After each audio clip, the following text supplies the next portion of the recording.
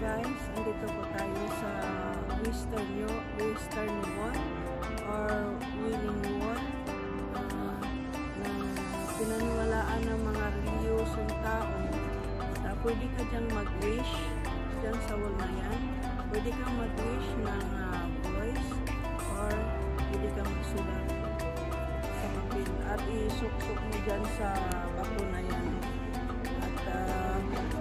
dalawang area dito, doon banda sa kabila, yun kung para pang lalaki.